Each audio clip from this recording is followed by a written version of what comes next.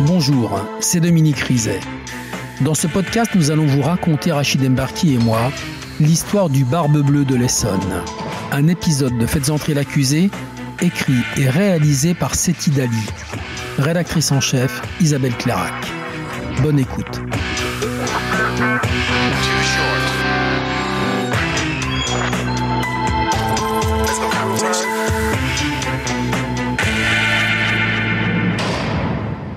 Coupable, c'est ce que la justice a dit. Deux fois. Innocent, c'est ce que Jamel Lelmi continue à clamer depuis sa prison. Dans un dossier pour assassinat et tentative d'assassinat, mais qui a toujours gardé des zones d'ombre. Il n'y a pas une preuve, directe, indirecte, contre Jamel Lelmi dans ce dossier. À l'écouter, Jamel Lelmi est une victime des femmes. Jalouse, intéressée, hystérique. Des femmes qui lui tombent dans les bras, comme des mouches. Je l'ai rencontré dans un sauna, dans un truc coquin. Et après, voilà, on, on s'est fait des petits câlins, un petit, voilà. Il dit, moi, ma femme, si elle veut un château, elle aura un château. D'entrée, il s'est présenté comme étant un séducteur, un libertin. Des femmes avec qui il n'a pas de chance. C'est quand même pas de sa faute si sa première femme est morte dans un accident de la route et si la suivante a failli mourir dans un accident de la route. Lâche commune. Il n'y a pas de mal à être séducteur. C'est pas, entre guillemets, un défaut qui justifie qu'on puisse être coupable de porter atteinte à la vie d'une personne? Le problème, c'est que chaque accident aurait fait de lui un homme riche. Riche à millions 8 à 12 millions d'euros, grâce aux primes des assurances d'essai qu'il faisait souscrire à ses conquêtes. Pour la justice, le mobile de ces étranges accidents était tout trouvé. Mais comment prouver qu'elle avait peut-être affaire à un tueur en série? Un homme assez intelligent pour passer à deux doigts du crime parfait.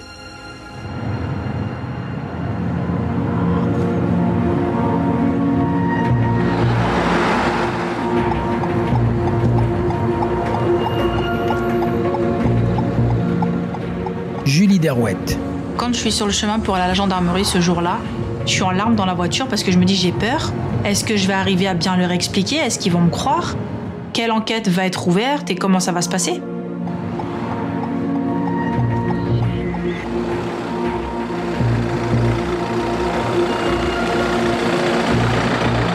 Quand je m'y rends, j'ai des douleurs, euh, enfin voilà, à m'arracher les cheveux. Peux pas rester assise plus d'un quart d'heure parce que les douleurs sont beaucoup trop intenses. Ma greffe me fait encore très mal. Donc je me dis, j'ai eu la chance de survivre, je peux pas m'apitoyer sur mon sort, il faut que je me batte. Et je me reposerai quand tout ça sera terminé.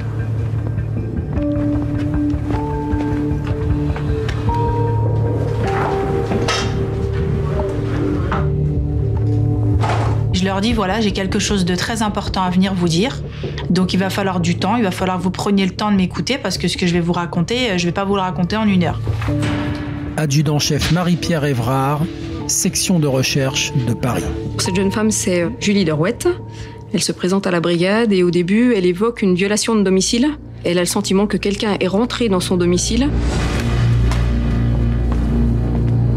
J'ai été victime d'un vol sans effraction. Je rentre à la maison, je sors de, chez le kiné et j'ai toujours eu la sale habitude de claquer la porte en partant de chez moi. Et là, je m'aperçois que la porte, elle est fermée à double tour.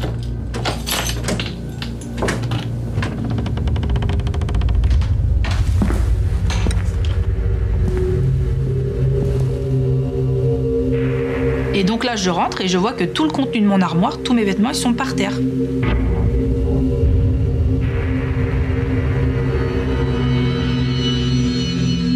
Mais, c'est quoi en fait? Pourquoi mes affaires au sol?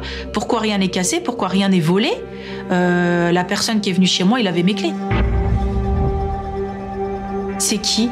Et en fait, en une fraction de seconde, je me dis, c'est lui, ça peut être que lui. Il y a que lui qui a les clés de chez moi. Qu'est-ce qu'il est venu chercher? Qu'est-ce qu'il est venu faire? Lui, c'est son petit ami. Il s'appelle Jamel Lelmi. Le couple est séparé depuis six mois. Adjudant Rodrigue Moukoko, section de recherche de Paris. Il a dit, puis d'ailleurs, euh, je commence à avoir même des doutes sur euh, son implication sur un accident que j'ai eu au mois de décembre euh, au Maroc, donc en décembre 2009 au Maroc. Julie raconte qu'il y a six mois, Jamel Lelmi a tenté de la tuer. S'il s'est glissé chez elle hier, c'est pour lui faire peur, l'empêcher de parler. Je dis voilà, je vous raconte ce que j'ai vécu, je vous raconte mon calvaire. Maintenant, à vous de m'aider, à vous de m'aiguiller. Je, je sais pas quoi faire avec mon récit. Et c'est grave ce qu'il a fait. Pour moi, il a tenté de me tuer. Je veux déposer plainte contre Jamel Lelmi pour tentative de meurtre. D'une simple plainte pour vol, voilà que le discours glisse vers une tentative d'assassinat. La jeune femme a 26 ans, deux enfants, et elle n'a pas l'air d'affabuler. Incontestablement, elle souffre toujours des blessures causées par son accident de 2009. Pour autant, la gendarme doit-elle croire cette histoire rocambolesque?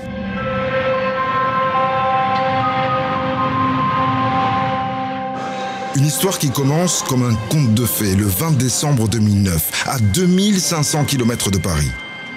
Ce jour-là, Julie Derouette s'est envolée pour Marrakech, pour y rejoindre son nouvel amoureux, parti la veille. Julie Derouette. Il me dit voilà, si je pars pas en même temps que toi, c'est parce qu'en fait, il faut que je prépare ton arrivée. L'arrivée d'une princesse, ça se prépare. Il va m'emmener dans son pays, il va me présenter à sa famille. Donc ça y est, la, la vie entre guillemets de femme, pour moi, va, va se réaliser. Ça y est, je vais enfin vivre mon rêve euh, et je vais me marier.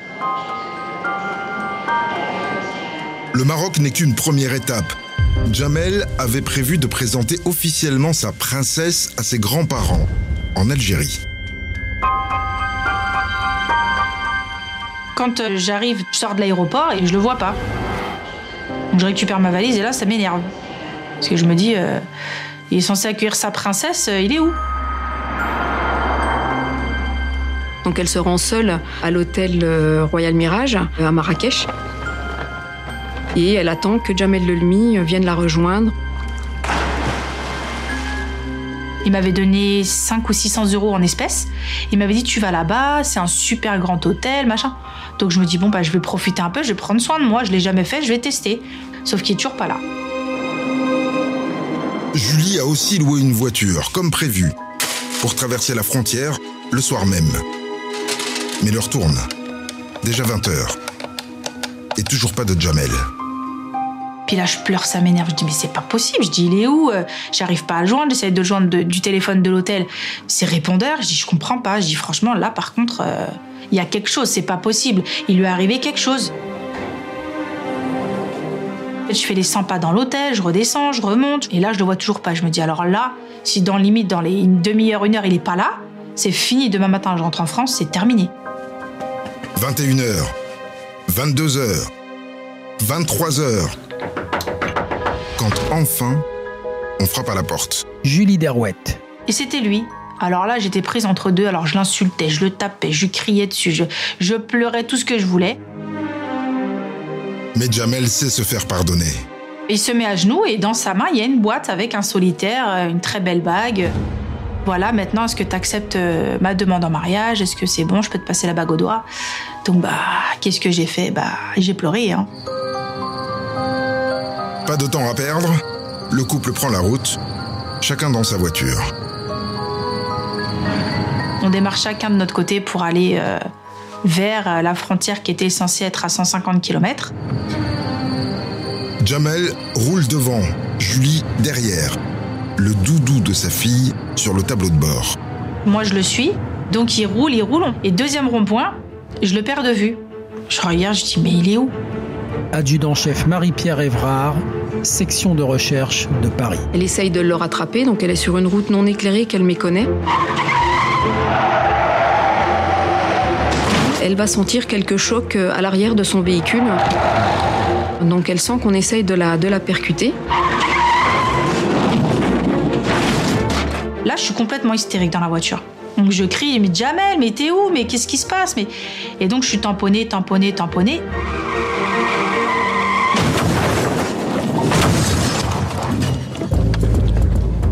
Elle expliquera qu'après une succession de chocs, elle fera des tonneaux et elle quittera la chaussée à l'issue de l'accident.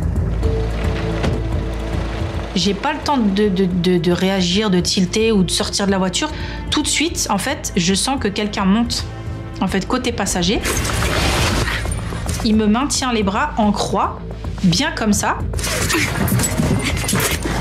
Pendant que celui qui me tire les cheveux dehors, en fait, me coince la tête dans le volant. Et là, ma scène, coup de poing, sur coup de poing, sur coup de poing, sur coup de poing. Et mes bras, en fait, sont, sont complètement immobiles. Je peux pas bouger, je suis attachée dans la voiture. Adjudant-chef Marie-Pierre Évrard, SR de Paris. Un autre individu lui met un liquide dans la bouche qui pourrait peut-être être, être de l'alcool. On ne sait pas trop s'il y a un, un ou deux agresseurs ou s'il y en a plus. Donc c'est quelque chose de, de très confus. Je reçois des dizaines et des dizaines de coups de poing au niveau de la nuque qui craquent. Et ma tête est, tombée en avant, mais, d'un coup. Donc comme vraiment un pantin, tout mon corps s'est raidi et est devenu tout mou en une fraction de seconde.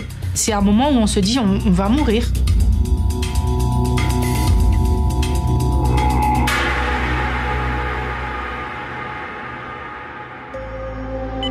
Le lendemain matin, à l'hôpital de Marrakech.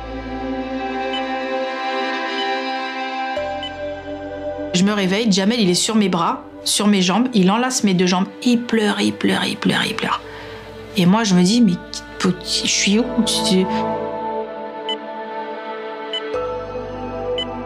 Pourquoi je me retrouvais dans un lit où je pouvais pas bouger? Et il me dit tu te rappelles pas, tu te rappelles pas? Et je lui dis mais je me rappelais de quoi? Et il me dit on a fait du ski, t'es tombé. Je lui dis du ski? Je lui dis je déteste le ski, je déteste le froid. Et pourquoi je serais venue à Marrakech faire du ski? Marrakech, on y va pour le soleil, pas pour la neige. Julie est grièvement blessée. Ses cervicales sont fracturées en deux endroits. Je comprends que je suis paralysée. Parce que la moelle épinière, elle a été touchée. Et que si on me touche et qu'on me bouge et qu'on, entre guillemets, me secoue, je peux mourir. Julie est opérée en urgence, mais son pronostic vital est engagé. Thierry Derouette, le père de Julie. En fin de compte, on a appris ça le lundi. Le lundi matin, le mercredi, on prenait l'avion pour le, pour le Maroc. Excusez-moi, euh, même dix ans après, je suis encore ému. C'est cette image que j'arrive pas à m'enlever de la tête. Je vois ma fille allongée avec un drap jusque là, quoi. Pour moi, elle est morte, elle bougeait pas, rien. Bah, c'est cette image-là depuis dix ans. Je n'arrive pas à m'en séparer. Rapatriée en France, Julie va encore subir quatre opérations. Elle avait du mal à manger, elle pouvait pas se laver, c'est mon épouse qui la lavait. Et elle était handicapée, c'est vrai. Très handicapée. J'ai un espèce de corset qui, pour moi, enfin, c'est c'est un instrument de torture. C'est, c'est, c'est- j'ai plus de vie. J'ai plus de vie de femme, j'ai plus de vie de maman. Ma vie, elle s'est arrêtée euh, le 20 décembre 2009. Jamel, lui, a disparu de la circulation. J'espère. J'espère qu'il va venir. J'espère qu'il m'aime encore. Et je me disais, mais il va revenir. Et je disais à ma mère, mais tu vas voir, il va venir. Euh, Il me l'a dit, il me l'a promis, tu verras, il va venir. Et il est jamais venu.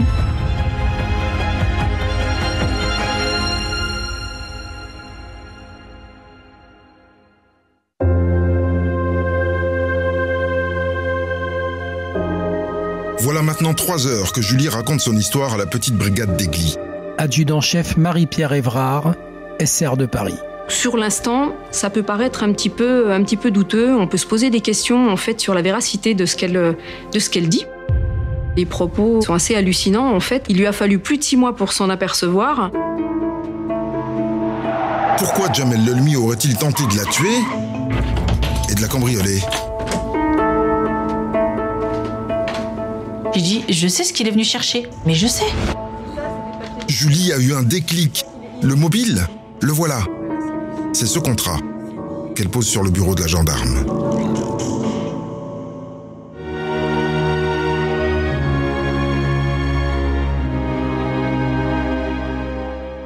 Dominique, ce contrat, c'est une assurance décès et Julie Derouette en a signé quatre. Assurance décès, à ne pas confondre avec des assurances vie. Qui sont des placements financiers. Là, c'est à fond perdu. Ouais. Sauf pour le bénéficiaire en cas de décès du souscripteur. Oui, et ces contrats, les voilà. hein. Julie Derouette, elle en a signé chez Generali, Cardiff, Prévindi, Alliance, et elle va les retrouver chez elle dans un placard. Alors, il faut quand même préciser que des gens qui prennent des assurances d'essai, ce sont des gens qui exercent la plupart du temps des professions à risque. Des athlètes de haut niveau, des pilotes de chasse, pilotes de voltige, des militaires des forces spéciales, bref, des gens qui veulent protéger leurs conjoints, protéger leurs enfants si un malheur intervenait. Mais ça, ça colle pas du tout avec le profil de Julie Lerouette. Pas du tout. Julie, elle a 26 ans. Elle est sans boulot. Euh, elle a deux enfants à élever. Elle est mère célibataire. Si elle prend une assurance d'essai, d'ailleurs ce serait surprenant, bah, elle désigne ses enfants comme bénéficiaires, pas de Jamel Lelmi. Ça n'a aucun sens. D'autant que c'est pas le père de ses enfants et qu'ils se sont fréquentés que pendant deux mois. Oui, et vous allez voir, il y a une clause supplémentaire, quelque chose qui est encore plus curieux. C'est que dans tous les contrats qu'a signé Julie Derouette, il y a une clause spéciale qui stipule que si elle meurt accidentellement, accident de la route, la prime est augmentée. Jamel Lelmi peut toucher jusqu'à 8 millions d'euros. Mais alors pourquoi elle a signé ces contrats? Elle est confuse. Jamel lui a demandé de signer, elle a signé sans comprendre. Dans la petite brigade d'Aigli, la jeune gendarme qui prend la déposition de Julie Derouette sent que l'histoire la dépasse. Coup de chance, ce jour-là, des collègues de la section de recherche de Paris sont dans les locaux. Elle va leur en toucher deux mots. Adjudant Rodrigue Moukoko, section de recherche de Paris. Elle prononce euh, le nom de Lelmi. Et là, donc un camarade, Thierry, a une, euh, a vraiment une réaction euh, stupéfaite. Et il dit, je me rappelle bien, il dit, bah, ça recommence. Adjudant-chef Marie-Pierre Évrard, section de recherche de Paris. En janvier 2007, euh, son épouse a été victime d'un accident de la circulation routière. Elle est décédée lors de cet accident et il a touché des assurances euh, d'essai, euh, un montant d'environ 1 200 000 euros. Les gendarmes remettent la main sur le dossier d'enquête et se plongent trois ans en arrière.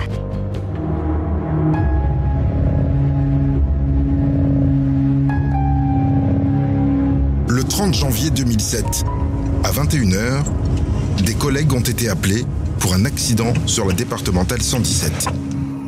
Une jeune cycliste venait d'être renversée par une voiture. Tandis que les pompiers transportaient Kathleen Vasseur à l'hôpital, les gendarmes ont interrogé les témoins, tous arrivés après l'accident.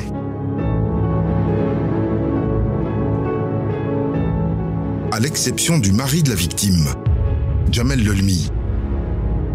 L'homme a expliqué que le couple venait d'acheter un vélo à Kathleen, quasiment à la fermeture du magasin, et que Kathleen était pressée de l'essayer. Ils ont donc pris la route, ensemble, dans la foulée.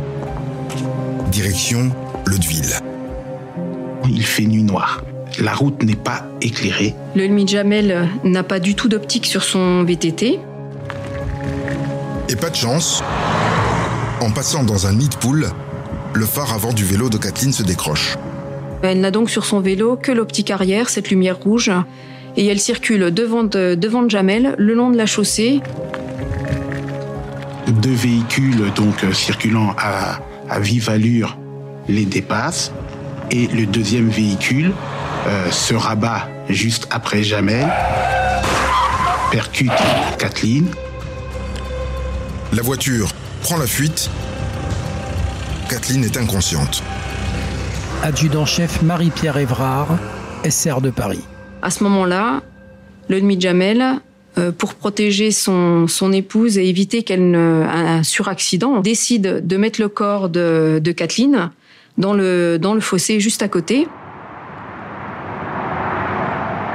Quand Jamel a vu une voiture faire demi-tour pour revenir vers eux, il est ressorti du fossé pour appeler à l'aide, avant de retourner s'allonger près de sa femme. Adjudant Rodrigue Moukoko, section de recherche de Paris. Il apparaît en procédure que Kathleen était euh, sur le ventre et que Jamel était donc positionné sur elle. Il est assez virulent, il repousse à plusieurs reprises les, euh, les personnes qui souhaitent intervenir. Parmi les témoins, une infirmière et un pompier volontaire tentent de secourir Kathleen. Il a refusé leur aide et il a fallu qu'il se mette à plusieurs hommes pour physiquement le séparer de son épouse. Quand les pompiers sont arrivés, Kathleen Vasseur était en arrêt cardiaque.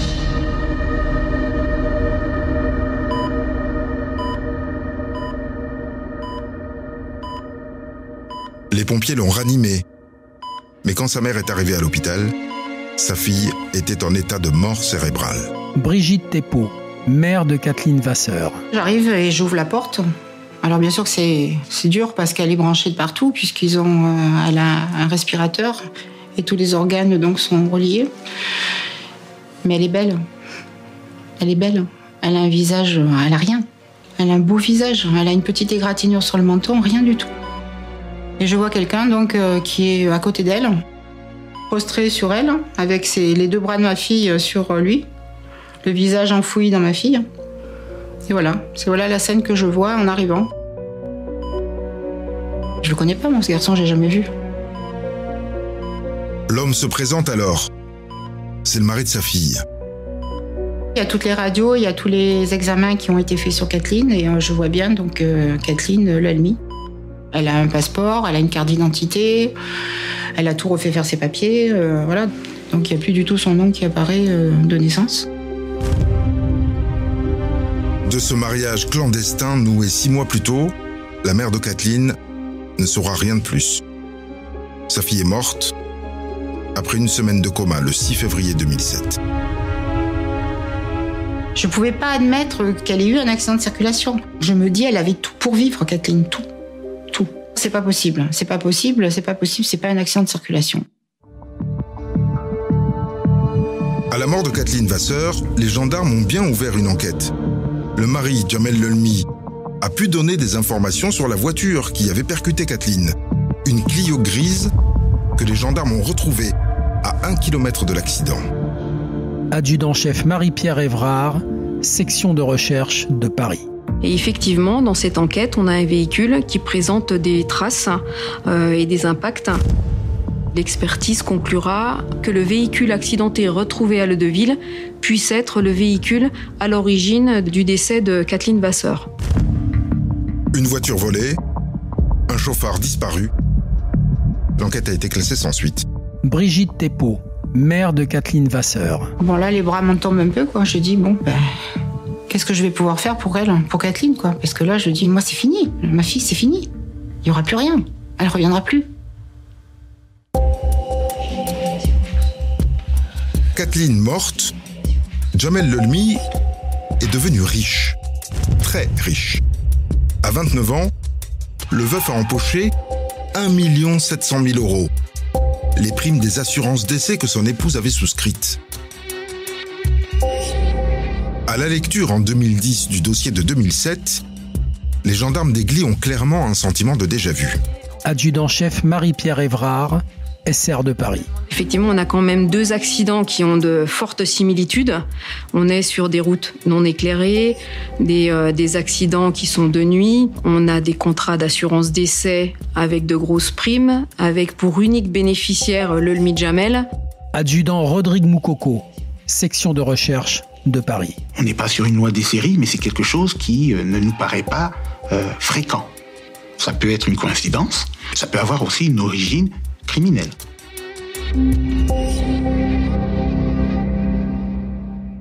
Le parquet se saisit de l'affaire et confie le dossier à la section de recherche de Paris, qui va enquêter très discrètement. Pas de casier, pas de problème. Un type bien, ce Jamel Lelmi. Jamel Lelmi est né de parents immigrés d'Algérie. Il a grandi et vit toujours à Bretigny-sur-Orge, dans l'Essonne. Adjudant Rodrigue Moukoko, section de recherche de Paris. C'est le quatrième donc d'une famille de six enfants, euh, une famille bien implantée euh, localement à Bretigny. Adjudant-chef Marie-Pierre Évrard, section de recherche de Paris. Son père est imam. Il a des sœurs euh, qui sont voilà également euh, respectées, bien implantées. Bon élève, Jamel Lelmi est devenu professeur en génie industriel dans un lycée professionnel. Et l'enseignant présente des appréciations plutôt élogieuses. Oui, c'est une belle réussite. Euh, il a obtenu un, des diplômes qui le, le situent à un niveau bac plus 5 avec les années d'IUFM. C'est monsieur tout le monde en fait, hein, euh, et on ne, on ne trouve rien de, de particulier le concernant à ce moment-là. Ce qui frappe les gendarmes pendant leurs écoutes et leurs filatures, c'est que le Lemi semble avoir fait de la salle de sport sa deuxième maison. Il a un culte réel du corps. On sent qu'il aime aussi montrer euh, qu'il a beaucoup de respect pour, pour son corps. Et manifestement, la salle de musculation est aussi le terrain de chasse de ce beau gosse. Dans l'ensemble, toutes ces femmes sont très marquées par euh, Monsieur Lelmy. Euh, il laisse pas indifférent. Effectivement, il peut créer une certaine fascination, mais positive. Il subjugue un petit peu par son aura euh, vraiment naturelle. Et pour séduire, Jamel Lelmi ne lésine pas. Sac de luxe, bijoux, la carte bancaire chauffe souvent. On s'apercevra que son train de vie change complètement à partir du moment où il touche bah, le bénéfice des primes d'assurance décès de Kathleen Vasseur. Il a acquis des biens euh, immobiliers. Donc il est à la tête d'un patrimoine immobilier, oui, qui s'élève à plus d'un million d'euros. Ça, c'était, c'est avéré. Jamel a acheté deux studios, une maison pour ses parents, un quad, un jet ski. Et il multiplie les voyages. New York, le Maroc, les Antilles. Toujours avec la même femme. Céline, c'est euh, la compagne de toujours de Lelmi Jamel. Ils vont se paxer, se dépaxer. Euh, Jamel va se marier avec euh, Kathleen Vasseur. Puis ils vont à nouveau se paxer et se marier religieusement euh, après le décès de, Kathleen Vasseur. Donc c'est vraiment la personne qui est euh, en permanence dans la vie de Lelmi Jamel. Quand il était dans une relation installée avec euh, Céline, effectivement, on sait, de temps en temps, il y avait ce libertinage. Il a deux sortes de vie. Il y a une vie officielle, on a quelques relations officieuses.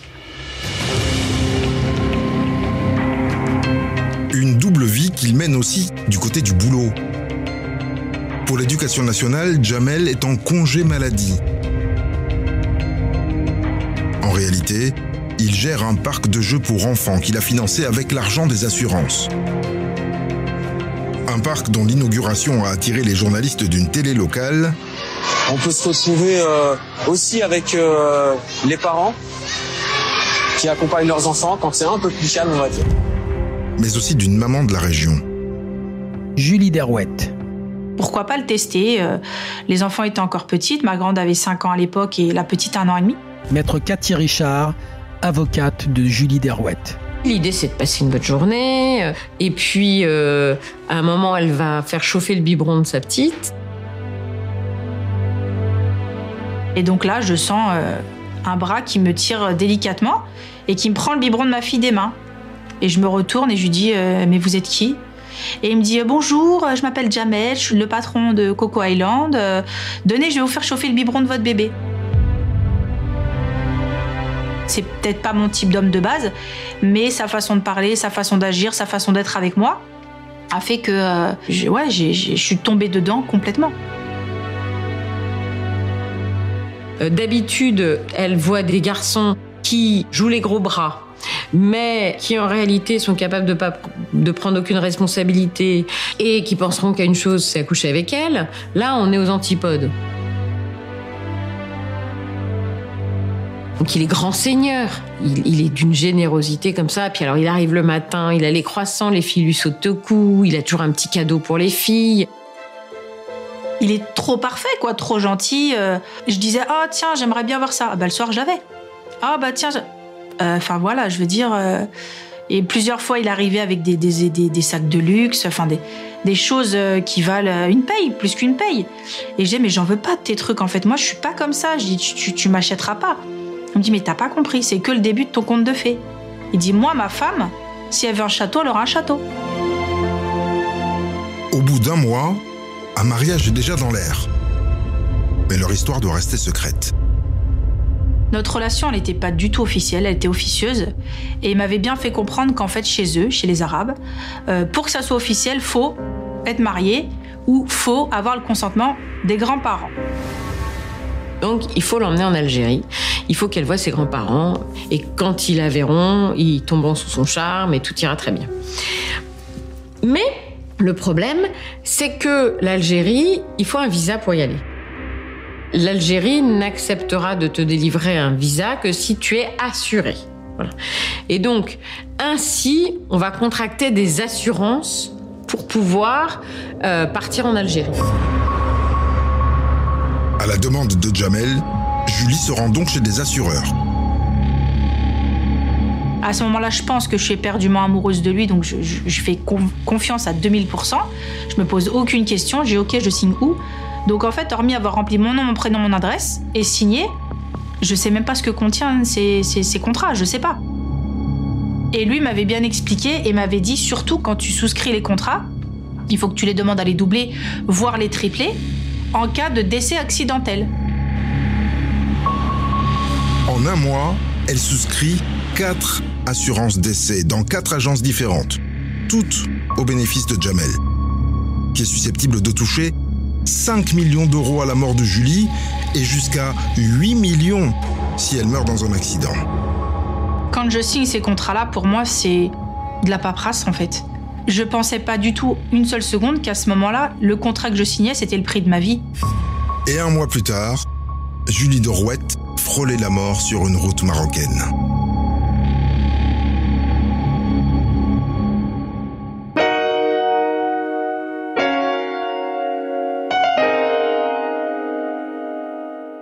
Au bout de dix jours d'enquête, les gendarmes ont toutes les raisons de croire que Julie n'est pas en train de les mener en bateau. Et s'ils avaient encore un doute, le coup de fil d'une compagnie d'assurance va le lever définitivement.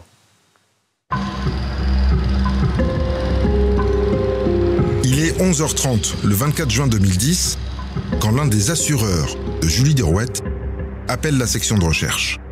Adjudant-chef Marie-Pierre Évrard, section de recherche de Paris. Magnolia Web Assurance euh, va nous contacter en nous disant euh, Nous venons euh, à l'instant d'être concernés par une demande de contrat d'assurance d'essai avec pour bénéficiaire Monsieur Lelmi Jamel. Adjudant Rodrigue Moukoko, section de recherche de Paris. Jamel Lelmi est de nouveau le bénéficiaire unique de plusieurs contrats d'assurance décès souscrits par euh, une jeune femme qui se prénomme Karine. Et pour des sommes euh, très impressionnantes, qui dépassent le million d'euros. Les gendarmes convoquent donc cette femme sur le champ. À partir du moment où on s'entretient avec elle, euh, on voit tout de suite qu'il y a des choses qui ne sont pas cohérentes. On découvre une personne très, euh, très fragile. Elle est quasiment presque illettrée. Donc, effectivement, on se dit, mais comment une personne qui a autant de difficultés avec la lecture a-t-elle pu comprendre seule euh, ce genre de documents et les signer, je dirais, euh, en connaissance de cause? Karine souffre de troubles cognitifs sévères. J'ai le, le cerveau qui a un peu ralenti. J'ai du mal de comprendre. De temps en temps, il faut me le répéter plusieurs fois.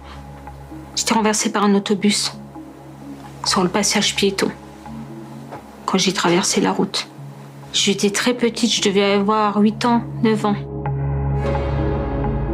Je suis dyslexie et de temps en temps, j'ai du mal à lire. C'est des lettres qui se mélangent. Et je veux aller trop vite et des fois, je, je commence à paniquer quand je lis. Ces contrats, Karine reconnaît bien les avoir signés, mais à la demande de Jamel Lelmi.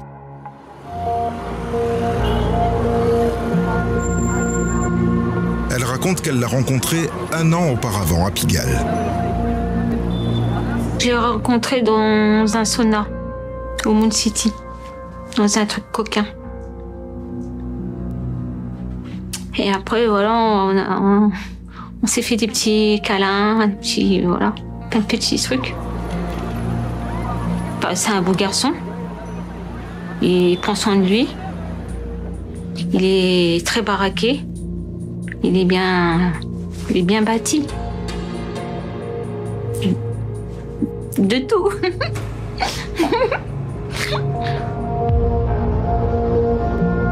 À 37 ans, Karine gagne tout juste le SMIC comme vendeuse. Jamel lui promet la belle vie et lui envoie des selfies plutôt explicites. Les photos qu'il m'avait envoyées sur le téléphone. Puis avec des liasses de billets, comme quoi il avait plein d'argent.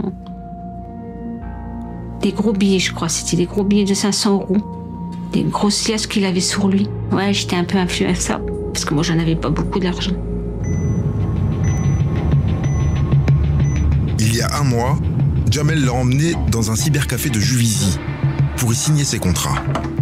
Il m'avait dit que c'était une preuve d'amour, comme quoi il m'aimait bien. C'est lui qui me dicte tout, ce que je dois faire? Parce que moi, je ne sais pas écrire. Et il me disait comment il fallait faire ça, cocher, cocher. Moi, je cochais, sans lire. Après, il redemande des feuilles à la machine. Et je, je refais la même chose sur toutes les feuilles. Moi, je comprends rien du tout. Moi, je fais. Je sais même pas, je connais même pas les papiers. Adjudant-chef Marie-Pierre Évrard, section de recherche de Paris. Karine nous dit qu'elle se souvient qu'il a fait en sorte de ne jamais toucher les documents, euh, qu'il fallait que ce soit vraiment elle qui les remplisse malgré ses difficultés. Effectivement, ça suscite des interrogations sur la démarche. En deux heures, quatre contrats pour un capital d'essai total de 3 200 000 euros. Et si Karine se trouvait elle aussi dans le viseur de Jamel Lelmi Des assurances d'essai à foison, des millions comme s'il en pleuvait. Ça fait un mobile, mais pas un tueur. La justice ouvre une information pour assassinat sur Kathleen Vasseur et tentative d'assassinat sur Julie Derouette. Mais si Jamel Lelmi a tué, tenté de tuer ou projeté de tuer, il va falloir le prouver.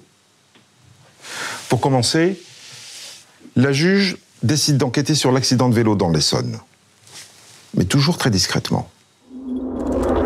Aurélie Poirier, juge d'instruction au tribunal judiciaire d'Evry. Quand j'ai regardé le dossier de cet accident, le point qui m'avait le plus euh, étonné, voire même un peu choqué, c'est la position euh, qu'a Kathleen dans le fossé, c'est-à-dire où elle est allongée face euh, contre le sol.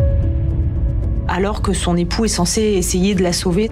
On se dit, il y, a quand même- il y a quand même quelque chose qui ne va pas dans cette scène quand on la visualise. Maître Jean Boudot, avocat de la sœur de Kathleen Vasseur.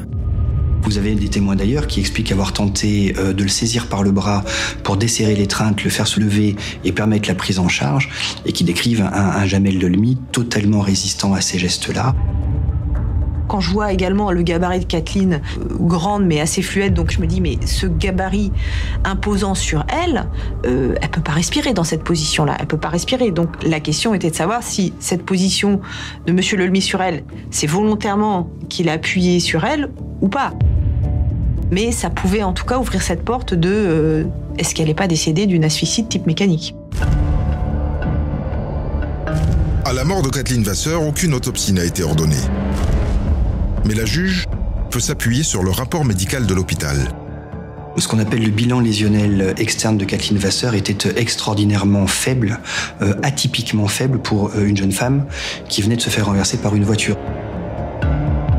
C'est quand même surprenant qu'elle ait pas de fracture, qu'elle ait, a- de mémoire, elle a juste une dermabrasion au, au niveau du genou, donc elle a, elle a pas des lésions qu'on constate généralement sur un accident de, de cette violence qui aurait entraîné son décès par la suite. hein. Une mort accidentelle suspecte et une relation amoureuse très curieuse. Jamel et Kathleen se sont mariés cinq mois seulement après leur rencontre dans leur immeuble de Bretigny-sur-Orge. Un mariage éclair entre deux témoins. Adjudant Rodrigue Moukoko, section de recherche de Paris. Et ces deux témoins, c'est un couple qu'il a rencontré avec Kathleen au club de sport, avec lesquels il n'y a pas de relation particulière. Brigitte Thépeau, mère de Kathleen Vasseur. Et là, ça, en plus, quand vous découvrez que votre fille s'est mariée avec deux témoins qu'elle connaissait pas, qui sont allés manger une pizza aux Champs-Élysées, euh, il y a de quoi être un peu quand même euh, choqué, quoi. Plus euh, elle est dans cette relation avec Jamel Lelmi, dans une situation de jeune mariée, et puis plus on voit Kathleen qui décline. Maître Jean Boudot, avocat de la sœur de Kathleen Vasseur. Les amis de Kathleen Vasseur euh, décrivent quelqu'un qui devient un peu dépressif. Elle va d'ailleurs être en arrêt maladie à la suite justement d'un début de, de dépression. On voit vraiment que Jamel Lelmi a totalement isolé, euh, en manipulant Kathleen, de, de tout son entourage amical et familial, parce qu'elle en avait un entourage familial et amical.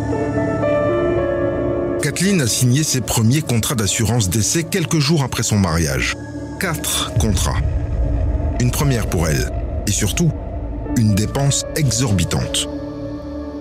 Le montant euh, des primes représentait 17% de son revenu annuel, euh, elle qui était conseillère à la NPE. Donc non, euh, Kathleen Vasseur n'est évidemment pas à l'origine de la souscription de ces assurances décès. Pendant l'enquête de 2007, l'OLMI a prétendu qu'il ignorait l'existence de ces contrats. Mais en 2010, l'analyse de ses comptes a fait apparaître le contraire. Les prélèvements de ces primes sont prélevés soit sur leur compte commun, soit sur le compte personnel de Jamel Lelmi. Donc il ne peut pas dire je ne suis pas au courant de l'existence de ces contrats. Bien sûr qu'il savait, c'est sur son compte. Se retrancher derrière l'idée de dire euh, je suis pas au courant parce que moi je consultais pas mes comptes, c'est pas crédible.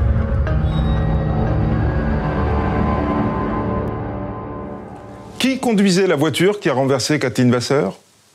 Est-ce que Jamel Lelmi l'a étouffée en se couchant sur elle? La juge ne peut toujours pas répondre à ces questions. Alors elle ordonne l'exhumation du corps et des expertises. Dans le même temps, elle lance une enquête au Maroc pour en savoir plus sur l'accident de Julie Derouette. Quand un événement va précipiter les choses. Depuis quelques jours, les écoutes téléphoniques de Jamel Lelmi sont inquiétantes. L'homme multiplie les coups de fil aux assurances. Il veut savoir où en sont les contrats signés par Karine.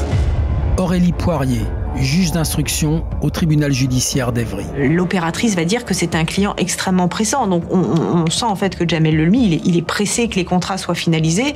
Euh, un tel empressement, euh, c'est inquiétant. Les gendarmes avertissent l'assurée, Karine, qui ne se méfie de rien. Il m'a dit que j'étais belle, j'étais sa princesse, qu'il me ferait jamais de mal. Si j'avais besoin de quelque chose, il était tout le temps là pour moi. Elle est totalement sous son emprise. Elle, elle- elle- en fait, elle, elle n'avait pas conscience qu'elle pouvait être en danger et qu'il pouvait euh, s'intéresser à elle que parce qu'elle représentait potentiellement euh, un gain financier à terme. Jusqu'à ce que le 22 juillet, les gendarmes qui ont placé Jamel Lelmi sur écoute interceptent une conversation qui ressemble bien à un piège. Il m'a demandé si je voulais partir en vacances quelques jours avec lui. Pour me reposer, ça me ferait du bien. T'as besoin de vacances, dit Jamel. Oui, peut-être, si, peut-être. Et il insiste. Mais si, tu as besoin de te reposer. Je voulais que je quitte mon boulot, tout ça? Et que je me mette en arrêt maladie? Un voyage avec Karine. Cette fois, plus question d'attendre. Les gendarmes foncent interpeller Jamel Lelmi. Placé en garde à vue, Jamel Lelmi ne semble pas surpris. Il se montre même courtois. Les gendarmes lui signifient les motifs de son interpellation. Assassinat sur son épouse, tentative d'assassinat sur Julie Derouette, et enfin, vol à son domicile. Adjudant Rodrigue Moukoko, section de recherche de Paris. il tique, il réagit sur euh, le vol. Et il ne réagit pas sur euh, assassinat ou tentative d'assassinat. Je dis, tiens, c'est, c'est étonnant qu'il n'y a que ça qui le choque. Je pensais qu'il y avait plus grave. Mais en garde à vue, où il passe 48 heures, et chez la juge qui le met en examen, Jamel Lelmi a toujours les mêmes réponses. La mort de Kathleen Vasseur? Un trou noir. Il ne se souvient de rien. La perte de sa femme l'a traumatisé. En revanche, sur l'accident de Julie de Rouette au Maroc, Jamel Lelmi se montre très offensif. Adjudant-chef Marie-Pierre Évrard, section de recherche de Paris. Il nie tout en bloc. Il va même jusqu'à dire qu'elle le harcelait, euh, qu'il n'était pas du tout euh, amoureux euh, d'elle, que c'était elle qui au contraire venait régulièrement à Coco Island pour le harceler. Adjudant Rodrigue Moukoko, section de recherche de Paris. Il fait juste état d'une fois où il a cédé légèrement, mais que c'est une relation sans lendemain qui n'a pas été satisfaisante pour lui et qui préférait rester bon ami avec elle. Jamel Lelmi construit maintenant sa défense. Et l'enseignant a des arguments. Maître David Olivier Kaminski, avocat de Jamel Lelmi de 2011 à 2016. Elle est la seule à y croire à une histoire d'amour. Pour Jamel, c'est un flirt. On a vu euh, une femme possessrice, jalouse, et qui veut s'accaparer absolument de Jamel Lelmi, qui ne s'intéresse pas plus à elle que cela. Dans le portable de Julie, les gendarmes retrouvent des centaines de messages. Je t'appelle à 10h et je tombe sur le répondeur. Viens, dépêche-toi, j'ai trop chaud. 976 messages à Jamel en seulement deux mois. Je veux te câliner et t'apprivoiser. Viens s'il te plaît, j'ai envie d'être serré dans tes bras. Alors tu viens? Tu vas m'énerver, appelle-moi. Le lendemain. Putain mais décroche. J'en peux plus, j'en ai marre. Elle l'a harcelé par ses textos. C'est peut-être de son côté une forme de cri de désespoir, je n'en sais rien.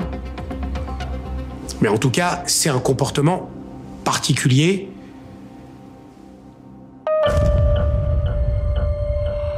Un harcèlement que Jamel Lelmi peut aussi prouver. Avec ces trois lettres que Julie Derouette lui a envoyées. C'est dommage que tu ne veuilles pas de moi, car je sais que tu aurais été heureux. Je peux t'aimer même si tu me rejettes et que tu ne veux pas de moi. Je sais que mes sentiments ne sont pas réciproques. Interrogée, Julie explique que ces lettres, oui, elle les a écrites. À la demande de Jamel Lelmi. Il fallait que sa mère tombe dessus, qu'elle les lise et qu'elle voit que euh, j'étais très très amoureuse de son fils et que comme sa femme était décédée, il fallait que je prouve par ces fameuses lettres que j'étais à la hauteur de l'amour de son fils. Vous imaginez deux secondes la scène? Et vous imaginez cette jeune femme euh, ne pas euh, percuter et dire mais qu'est-ce qui me fait écrire sous la contrainte? Mais enfin, qui peut croire à des histoires pareilles? Tu ne m'aimes pas, mais je vais te prouver que je suis celle qu'il te faut. À la lecture de ces lettres, on sent que c'est un amour à sens unique. Jamel ne l'aime pas, mais elle s'accroche jusqu'au bout. Le problème, c'est que quand une femme croit qu'elle est amoureuse, l'amour tue l'esprit critique. L'amour rend aveugle. Donc elle a pu s'auto-aveugler de ses propres croyances. Julie, une folle, une mytho, qu'il n'a jamais invitée au Maroc, c'est elle qui le poursuivait. Pour preuve, la lettre de Julie. J'espère bien te trouver, j'ai ta photo, ton nom, la ville où tu es, et s'il le faut, j'engagerai un détective. Ce qui est certain, c'est qu'elle a cru à une histoire d'amour qui n'était pas réciproque. Ce qui est certain, c'est qu'elle part au Maroc alors qu'elle n'était pas ni voulue ni désirée à ce voyage et que Jamel ne voulait pas la voir. C'est par jalousie que Julie a inventé toute cette histoire, y compris sa pseudo-agression. Maître David Olivier Kaminski, avocat de Jamel Lelmi de 2011 à 2016. Elle a deux cervicales brisées, c'est indéniable. La seule question, c'est qui lui a brisé? Est-ce qu'elle se les est brisées dans un accident de, de voiture? Est-ce que euh, elle a été attaquée euh, par des inconnus? Mais la psychologie ou les éléments psychiatriques de cette femme n'ont peut-être pas été suffisamment explorés parce que peut-être celle-ci nous a baladés dans sa propre folie et d'une certaine manière euh, ce qui fait aussi ses angoisses. Ce qui est certain, c'est que la preuve matérielle, là non plus, n'existe pas. À l'écouter, Jamel Lelmi est victime des femmes et de leurs mensonges. Et Karine n'échappe pas à la règle. C'est une droguée, une fille facile qui a abusé de sa confiance. Les quatre contrats signés au cybercafé, c'est elle qui les a exigés. D'ailleurs, lui aussi en a signé à son profit. Cinq, exactement. Cette jeune femme euh, fréquente des clubs échangistes. Elle a donc une euh, vision très précise de ce qu'elle veut pour elle-même. Je ne dis pas qu'elle ment, je dis que elle présente les faits d'une manière qui forcément interpelle. Accusé à tort, Jamel Lelmi par des menteuses, hystériques, érotomanes ou jalouses, faute de preuves matérielles, c'est parole contre parole. La juge d'instruction prend alors une décision rare. Elle demande à une psychologue et un psychiatre d'expertiser les victimes. En clair, elle veut savoir si Julie de Rouette et Karine ne sont pas un peu frappées, quoi. Ouais. Alors, Julie de Rouette d'abord. Hein. Trois choses intéressantes. Les experts disent, un, qu'elle ne souffre pas d'un trouble de la personnalité ou d'une pathologie mentale avérée. Elle n'est pas folle, elle ne souffre pas d'érotomanie, elle ne souffre pas de mythomanie au sens psychiatrique du terme. Deuxième point, Julie Derouette souffre en revanche d'un stress post-traumatique bien légitime. Elle a eu peur de mourir. Troisième chose, c'est une femme intelligente et l'expert se demande comment elle a pu faire preuve d'autant de naïveté envers le mis en examen, autant de confiance anormale envers Jamel Lelmi. Ah, parce qu'elle a quand même signé quatre assurances d'essai. Oui, mais l'un des experts explique ça en ajoutant dans l'expertise les contrats signés en sa faveur montrent l'emprise que cet homme avait sur elle.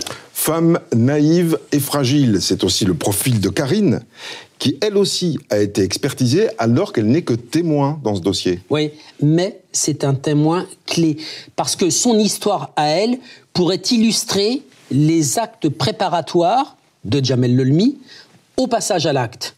Alors, d'elle, les experts disent qu'elle présente un léger retard mental, des capacités de jugement et de raisonnement altérées, des difficultés à s'orienter dans le temps et dans l'espace, des difficultés à lire, à compter, à écrire. C'est une personne qui souffre d'un handicap psychique et c'est surtout une personne qui est très facilement et particulièrement influençable. Des femmes influençables sous la coupe d'un stratège de la séduction. C'est ce que découvrent les gendarmes quand ils examinent l'ordinateur portable de Jamel Lelmi. Adjudant-chef Marie-Pierre Évrard, section de recherche de Paris. On verra des échanges euh, réguliers de, SMS euh, avec des contenus très séducteurs, euh, des photos sur la mise en avant de son corps. Maître Cathy Richard, avocate de Julie Derouette. C'est extraordinaire parce qu'il a des femmes de différents milieux. Il y a une clerc de notaire qui dit Tu es l'ange de mes nuits, la lumière de ma vie. Il va y avoir euh, Karine qui ne s'est pas aligner euh, deux mots. Il y avait Julie qui lui parlait façon manouche. Ensuite, il va y avoir Céline qui lui dit bah, Ramène-moi le pain ce soir en rentrant. Et on voit qu'ils passent de l'une à l'autre euh, avec. c'est extraordinaire. Jamel Lelmi a toujours plusieurs femmes sur le feu et une technique de pro. Sur ses photos, il est aux Antilles avec Céline. Mais une fois seul, il dessine ses cœurs sur le sable. Il fait des cœurs dans le sable et puis il efface au fur et à mesure, puis il met des prénoms de jeunes femmes. Alors, c'est le même cœur, mais alors il change le prénom, on efface, on rechange le prénom et on, voit qu'il il envoie ça. Oui, si, il a ce côté flambeur, hableur, euh, mais, pas, mais pas pour elle. Aurélie Poirier, juge d'instruction au tribunal judiciaire d'Evry. Il arrivait à cloisonner, à être extrêmement organisé et à ne pas du tout avoir la même personnalité selon la personne qu'il a en face. Donc il s'adapte, il a, il a un côté assez caméléon. Maître David Olivier Kaminski, avocat de Jamel Lelmi de 2011 à 2016. Il n'y a pas de mal à être séducteur. C'est pas, entre guillemets, un défaut qui justifie qu'on puisse être coupable de porter atteinte à la vie d'une personne. Parce que là aussi, si on suit ce raisonnement, on va mettre beaucoup de séducteurs en prison et commettre beaucoup d'erreurs judiciaires. Mais la psychologue chargée d'expertiser Jamel Lelmi ne va pas s'en tenir au statut de séducteur. Michel Agrapard-Delmas, expert psychologue. D'entrée, il s'est présenté comme étant un séducteur, un libertin, comme euh, Sade ou comme euh, Casanova. Je lui avais rétorqué qu'il y avait aussi Landru et que Sade était un pervers. Donc après, il a été moins gentil. Monsieur Lelmy, il a une emprise sur les gens.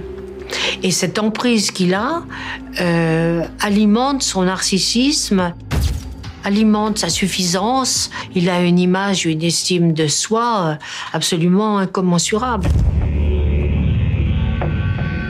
Conclusion de l'experte, personnalité manipulatrice avec des traits pervers. Les pervers sont des menteurs, manipulateurs qui utilisent les autres pour leur propre plaisir. C'est le cas de Monsieur Lelmy. Il a toujours utilisé les autres pour son plaisir. Lui, il a transformé les- ses victimes en objets. C'était ça son bonheur. Quand il découvre ses conclusions, Jamel Lelmi explose. Il était très en colère. Il nous a vraiment dit des choses très grossières, très agressives, très insultantes. Enfin, c'est allé très loin. hein. Et là, il nous a montré un autre visage. Le visage d'un homme. euh, Là, il était plus manipulateur. Là, il était plus du tout séducteur. Là, il était que pervers. La juge aussi découvre le caractère manipulateur du suspect, qui lui envoie lettre sur lettre pour guider son instruction. Aurélie Poirier, juge d'instruction au tribunal judiciaire d'Evry. Des fois, il m'écrivait des, des courriers assez virulents, et puis d'autres fois, des courriers qui me brossaient plus dans le sens du poil, pour que vous, vous êtes une bonne juge. euh, Je vous invite à continuer, à persévérer dans vos efforts. C'est aussi pour me déstabiliser, euh, pour me montrer que je commets des erreurs de procédure, même si c'est pas le cas, mais je pense que dans son esprit, c'est un petit peu ça aussi. Et si Jamel est aussi sûr de lui, c'est parce qu'il explique qu'il n'était pas avec Julie la nuit où elle a été agressée. Maître David Olivier Kaminski, avocat de Jamel Lelmi de 2011 à 2016. Au moment où elle a son accident à Marrakech, Jamel n'est géographiquement pas à Marrakech. Il est à plusieurs centaines de kilomètres puisqu'il est à Casablanca. Son alibi, c'est Céline, sa compagne. C'est avec elle et elle seule qu'il est parti au Maroc. Et elle le confirme aux gendarmes. Ce soir-là, ils étaient tous les deux à Casablanca. Aurélie Poirier, juge d'instruction au tribunal judiciaire d'Evry. Les réponses qu'elle va nous apporter, c'est des réponses qui tiennent la route. Elle fait pas le choix de se murer dans le silence. Elle, euh, elle réfléchit et elle réfléchit bien. C'est une femme très très forte et très très intelligente. Extrêmement forte, un caractère très très fort, euh, Céline. Laquelle des deux ment? Julie, qui se serait fait un film Ou Céline, pour couvrir son compagnon? Céline, on la voit pas dans les montages financiers aussi où, où elle est vraiment à l'écart là-dessus. On n'a pas trouvé dans son téléphone portable, par exemple, de traces des contrats. On n'a pas trouvé sa présence euh, à côté des souscriptions des contrats, donc pas d'éléments matériels. On ne met pas en examen.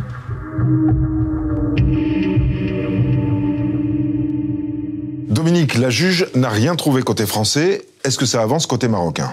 Alors, côté marocain, c'est compliqué parce que les policiers n'ont fait qu'un PV pour l'accident de la route de Julie Derouette. Il n'y a pas eu d'enquête, il n'y a pas de témoin. hein.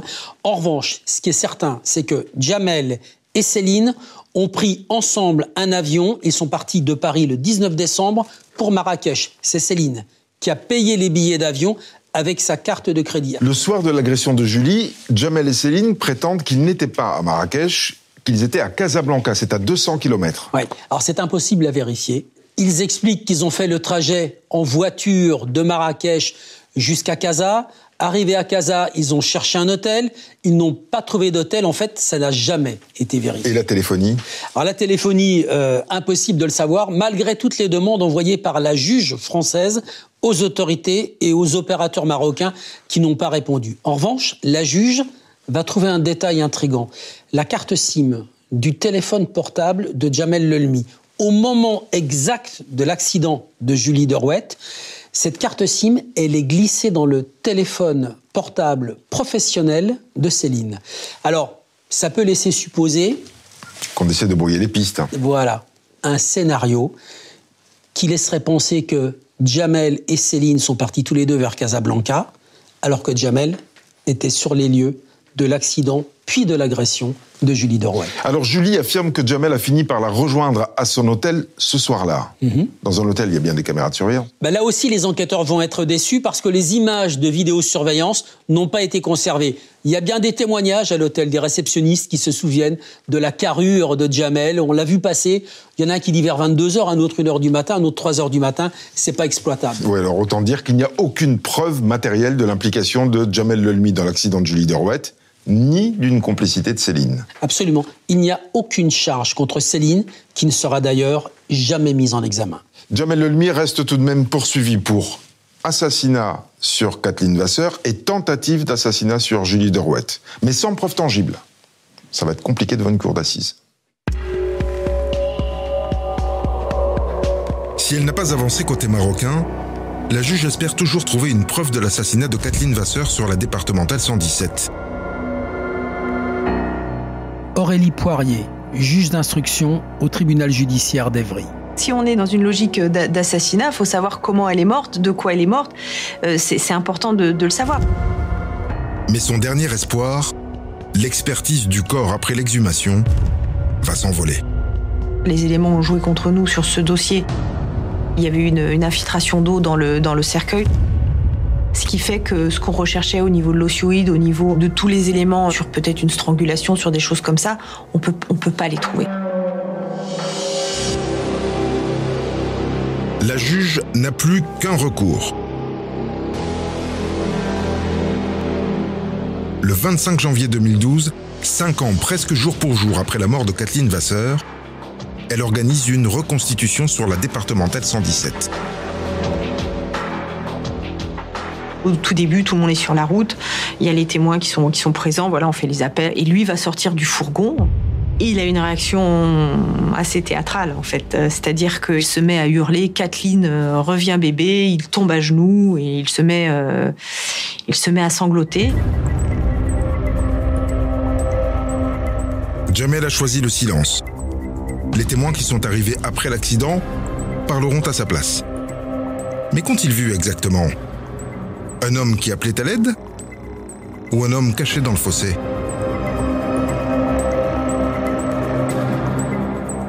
La juge a tout prévu, avec deux comédiens de même taille et de même poids que Kathleen et Jamel. On se rend compte que c'est uniquement lorsqu'un couple de, de, personnes va passer une première fois et va faire demi-tour 300 mètres plus tard, va revenir, va ralentir, et c'est lorsqu'ils sont quasiment arrêtés pour voir ce qui se passe que là, Jamel Lemi va, va sortir du fossé pour les interpeller. La juge demande aux témoins de décrire précisément la scène qu'ils ont vue. Adjudant-chef Marie-Pierre Évrard, section de recherche de Paris. Et à un moment donné, euh, l'actrice demandera à faire cesser cette euh, reconstitution parce qu'elle a du mal, à, du mal à respirer. Aurélie Poirier, juge d'instruction au tribunal judiciaire d'Evry. Et elle me dit, moi je me suis rendu compte que comme ça, dans cette position, euh, j'aurais pas pu tenir longtemps en fait. La première chose qui vient à l'esprit, ben, c'est que, que Kathleen a dû euh, étouffer euh, sous le corps de son, euh, de son mari euh, en étant euh, face contre terre. Je pense qu'il y a une prise de conscience de pourquoi on a fait la reconstitution à ce moment-là de la part de l'ensemble des personnes. Parce que là, à ce moment-là, ça percute et c'est vrai qu'il y a un vrai silence à ce moment-là. Maître Jean Boudot, avocat de la sœur de Kathleen Vasseur. de l'homme euh, paniqué et éploré qui serre contre lui la femme qu'il aime, euh, on bascule en réalité d'évidence sur celui qui était en train d'étouffer quelqu'un au fond d'un fossé. Brigitte Thépeau, mère de Kathleen Vasseur. J'avais raison. J'avais raison depuis le début. C'est qu'elle a été tuée devant témoin, quoi. Ouais.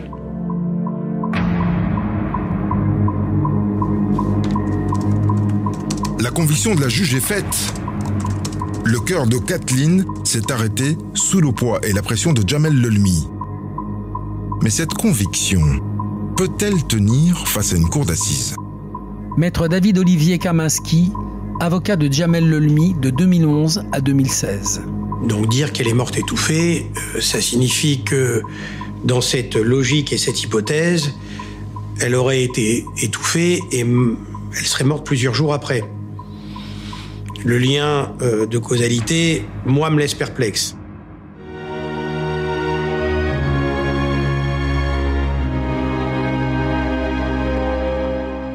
La juge renvoie donc Jamel Lelmi devant les assises pour assassinat sur Kathleen Vasseur, tentative d'assassinat et escroquerie sur Julie Derouette. Et la bataille s'annonce serrée, entre une accusation qui manque de preuves et une défense qui a fait appel au meilleur pour plaider l'acquittement. Le procès s'ouvre le 28 avril 2014 à Évry, dans l'Essonne. La Cour a un mois pour avaler les 12 000 codes du dossier et se forger une intime conviction. L'accusé, un mois pour sauver sa tête. Dès l'ouverture du procès, Jamel Lelmi donne le ton. Rémi Crosson du Cormier, avocat général. J'ai pas vu beaucoup d'accusés qui avaient un véritable comité de soutien. Il a un comité de soutien conséquent. Thierry Derouette, le père de Julie. Avec les banderoles et tout, comme si on était à la, à la foire, quoi. Allez, allons-y. euh. Brigitte Thépeau, mère de Kathleen Vasseur. On essaye de faire abstraction de tout ça, quoi. Mais dans la salle, c'était très pesant parce qu'ils étaient là, quoi. Jamel Lelmi veut l'acquittement et s'offre le service d'un cador en la matière. Maître Jean Boudot, avocat de la sœur de Kathleen Vasseur. Éric Dupont-Moretti sur un, un dossier comme le dossier de Jamel Lelmi, on savait qu'on aurait une défense euh, magnifique en face de nous et donc évidemment euh, extrêmement difficile à combattre. Maître Cathy Richard, avocate de Julie Derouette. On est dans la- l'artillerie lourde, très lourde. On sait qu'on va à la guerre et on n'est pas déçu. Comme prévu, la défense pointe une à une toutes les failles du dossier d'instruction. Et en premier lieu, la présomption d'assassinat sur Kathleen Vasseur. Maître David Olivier Kaminski, avocat de Jamel Lelmi de 2011 à 2016. Forcément, on n'a jamais eu une expertise qui a été capable de dire, contrairement au tout début, elle est morte du, du choc avec une voiture. Sauf que les experts n'ont jamais été capables de dire non plus qu'elle est morte étouffée. Et en restant comme ça au milieu du guet, on construit la vérité qu'on veut. Il n'y a pas une preuve, directe, indirecte, contre Jamel Lelmi dans ce dossier. Tout ceci ne serait qu'un complot ourdi par la principale accusatrice de Jamel Lelmi. La pression sur Julie Derouette est au maximum. Maître Cathy Richard, avocate de Julie Derouette. C'est la pièce centrale du puzzle. Si elle ne va pas dénoncer, eh ben il y a rien d'autre. Donc si Julie s'effondre, euh, bah, le reste s'effondre. Julie Derouette. Je savais que j'étais la bête à abattre. Je savais que la défense attendait qu'une chose, c'était de me laminer, de m'insulter, de me rabaisser. Et je me suis dit, il faut que là, je sois la plus convaincante du monde. Il faut que j'arrive à faire comprendre aux gens le, le calvaire que j'ai vécu. Pendant 4 heures, Julie raconte son histoire, avec toute sa naïveté, sa spontanéité et ses contradictions aussi. Comment voulez-vous trouver de la cohérence, de la justesse dans ces déclarations Elle dépose d'abord plainte sur un vol. Franchement, c'est abracadabrantesque. Elle est euh, totalement incohérente sur euh, sa relation avec Jamel et ce euh, voyage au Maroc. On peut pas penser une seconde que cette fille puisse être crédible. Je suis euh, l'hystérique, la folle, euh, celle qui s'énerve, celle qui insulte tout le monde. Et j'avais pas une attitude de victime. Ils m'ont brisé. Pour la défense, la partie semble presque jouée. Mais c'était sans compter sur le témoignage de Karine. Quand elle rentre dans cette salle, on voit une gamine. On voit une gamine. Karine. Bah, je suis pas bien dans ma tête, je suis vraiment pas bien. Parce que moi, je suis toute seule, j'ai personne avec moi pour me défendre.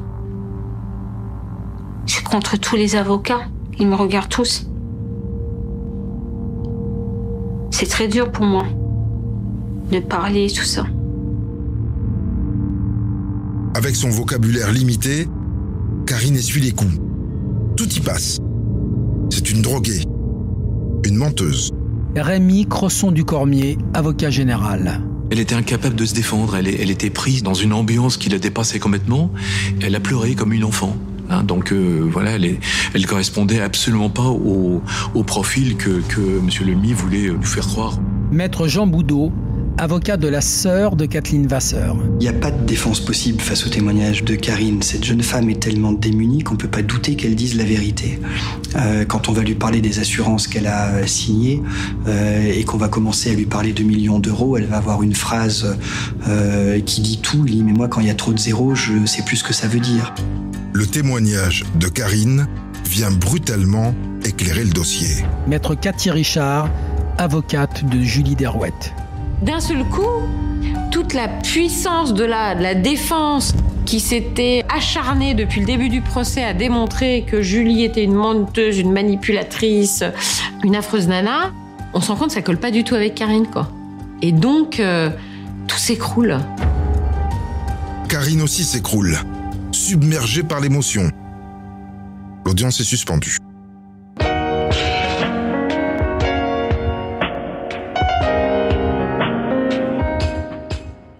Au cours de ce procès, un autre témoignage va beaucoup frapper la Cour, celui de l'expert en assurance. Oui, un expert qui va venir à la barre pour dire que dans ce dossier, tout est hors norme. Ce qui relie Kathleen, Julie et Karine, ce sont les contrats d'assurance d'essai qu'elles ont signés, avec à chaque fois un seul et même bénéficiaire, Jamel Lelmi. 13 contrats au total, auprès de 9 compagnies, pour un capital total, tenez-vous bien, de 8 à 12 millions. Ça relève presque du record de France. Autre chose intrigante, c'est que Julie a 27 ans, Kathleen et Karine 26 ans. C'est quand même un peu jeune pour penser à protéger sa vie. Oui, et l'expert va l'expliquer. L'expert va dire que quand on signe ce genre de contrat d'essai, on a entre 40 et 50 ans. Et puis alors, il y a cette étrange fatalité qui consiste à mourir ou manquer de mourir juste après avoir signé ses contrats. Oui. Kathleen signe quatre contrats entre juillet et novembre 2006. Elle meurt deux mois plus tard. Julie signe quatre contrats en une semaine. On est en novembre 2009. Elle frôle la mort un mois plus tard au Maroc. Quant à Karine, elle signe cinq contrats en un seul après-midi, 21 mai 2010. Et deux mois plus tard, Jamel Lelmi lui propose un joli voyage avec lui. À une semaine de la fin du procès, un troisième témoin vient asséner le coup de grâce. C'est une connaissance de Jamel Lelmi. Il s'appelle Yannick et son récit plonge la cour dans un autre monde.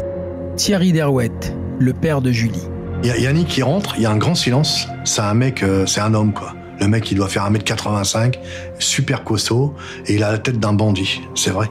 Maître Cathy Richard, avocate de Julie Derouette. Ah, c'est pas un enfant de cœur. Voilà, c'est pas un enfant de cœur. Il le dit, il l'avoue, il le reconnaît. Lui, c'est le monde de la nuit. Donc, il a d'ailleurs sa, boîte de nuit et il a besoin d'argent. Et quelqu'un le met en relation avec Jamel Lelmi comme un prêteur d'argent. Yannick explique qu'il a emprunté de l'argent à Jamel à l'automne 2009, quelques semaines avant l'agression de Julie Derouette au Maroc, et qu'il n'arrivait pas à lui rembourser sa dette. Alors Jamel l'a convoqué pour lui expliquer un plan. Yannick raconte que Jamel a enfilé des gants en latex avant de sortir des contrats d'assurance d'essai. La suite l'a estomaqué. Tu vois, t'as une femme, t'as une maîtresse, bah, tu choisis entre ta femme et ta maîtresse, hein, et puis euh, tu l'emmènes euh, dans un pays du Maghreb, elle a un accident de voiture, tu mets sur elle une assurance euh, d'essai, et il n'y a pas de problème, tu pourras me rembourser. Thierry Derouette, le père de Julie. Bah, je pense que ça bascule, le procès bascule là. Parce qu'il y avait encore des doutes.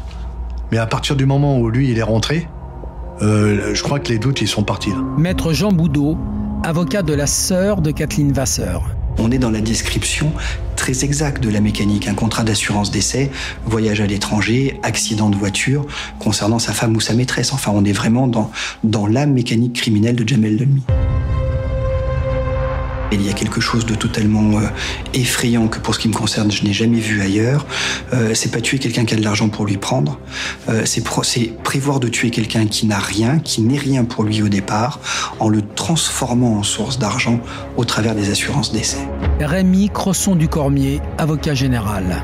C'est effectivement la préméditation la plus accomplie qui soit. Ces personnes étaient irrémédiablement condamnées à mort. Hein, Elles étaient condamnées à mort d'avance. C'est sur ce mode opératoire glaçant, devant une cour médusée, que l'avocat général requiert la perpétuité assortie d'une peine de sûreté de 22 ans. La défense n'a pas le choix. Vaille que vaille, elle plaide l'acquittement. Après 6 heures de délibéré, la sanction tombe. Jamel Lelmi est condamné à 30 ans de réclusion criminelle et 12 ans de peine de sûreté. Karine. Ça m'enlevait une boule à l'estomac. Je pense qu'il m'aurait arrivé la même chose que les personnes. Moi, j'ai échappé belle, surtout. À la mort. Julie Derouette. Quand j'entends le verdict, en fait, euh, j'ai pas de mots, je tombe. Je fais un malaise. Donc je, je- je m'effondre parce que c'est un mois de procès, parce que c'est un mois de douleur, parce que c'est quatre ans d'attente. Et la- la- ma première vraie pensée, c'est pour Kathleen. Et je me dis vraiment, euh, tu vas pouvoir reposer en paix. «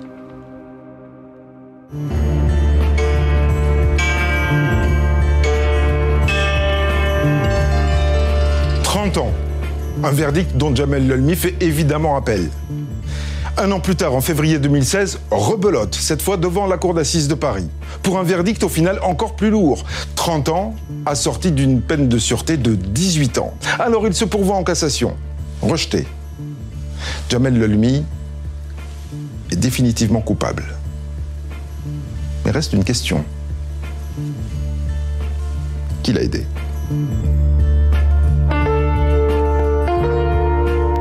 Vous venez d'écouter le podcast de Faites entrer l'accusé consacré aux Barbes Bleues de l'Essonne. Si vous avez aimé ce podcast, abonnez-vous sur votre plateforme d'écoute préférée pour ne manquer aucun épisode de votre podcast Faites entrer l'accusé.